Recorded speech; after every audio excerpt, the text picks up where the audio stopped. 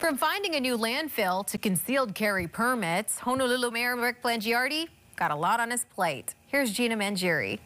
Joining us in studio, Honolulu Mayor Rick Blangiardi. Thanks for being here, Mayor. Gina, I always love being with you. Thanks. Last time we saw you, there was some new momentum just about to come up about yeah. where to put Oahu's next landfill.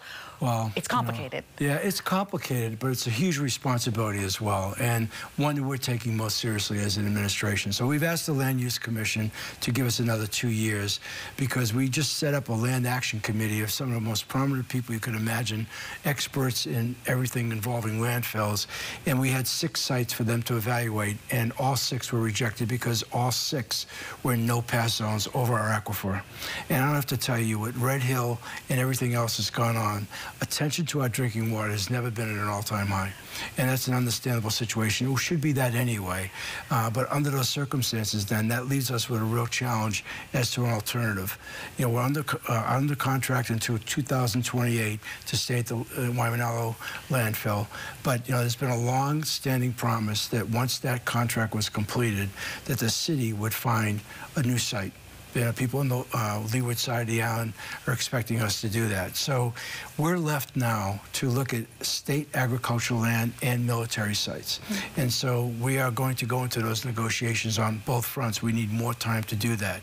Uh, but since you mentioned to me off air the possibility of relocating or dislocating people, that's not even an option. We're not even considering that. And we can all do our part at home just to throw away as little as we can. Well, yeah, that's right. I mean, I think, you know, at this day and age of people people being very sensitive to recycling. We appreciate any and all efforts that people make in that regard. Sure. Also sensitive, you mentioned a key word, because yeah. sensitive places legislation is important as we have more concealed carry uh, permits now finally being issued. We are, and you know, the fact is we're in accordance with the Supreme Court ruling that came out a few months ago, but that also left it to the counties to make their own determination. So while I support uh, the Supreme Court decision, if you will, and the Second Amendment rights of people, we're not a gun culture. We have not been a gun culture for 170 years. And so uh, I think a lot of what we've proposed, albeit aggressive, is really a common sense approach. And so sensitive places is deemed in stores, restaurants, churches, public areas, or whatever. I mean, I have a hard time believing, as I've listened to some of the testimony of people in favor of it, you know, I, I almost hear them describing a Hawaii that I don't know. I've never known and for that matter, not one that I ever want to see happen. So in that regard, we're going to issue permits. I think we've given out about 37 so far. Uh, if people are qualified to get them, we're not going to restrict that. That goes through the police department. Uh, but at the end of the day, we'll see where we are with Bill 57. I feel pretty good. We have another big uh, hearing coming up on February 22nd.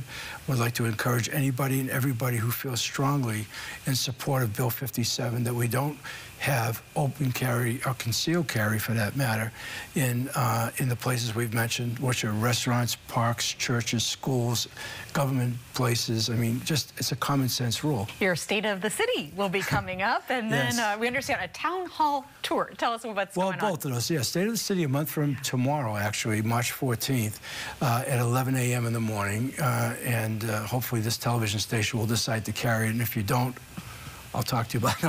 I'm hoping that that'll happen. Uh, but I'm excited about that because our team has done an incredible job this year. But more than anything, I want to be able to showcase and talk about the plans going forward uh, because I think that's what people want to hear as well. So good job this past year. I expect our what will be our third year in office here to be our best year yet. And that's the plan we hope to be able to deliver to everybody. And we are going to go on the road with our cabinet. Uh, we're going to, I think the third week of March is when we're going to start after State of the City. We're going to do 11 town halls in 10 weeks. All right. Well, good luck with that. And we'll post thank the you. dates when we have them. Thank and you. Mayor, thank you so much for being with us. Oh, always, always a pleasure. And I appreciate the opportunity to talk about what we just talked about. Thank you very much. And we'll send it back to you.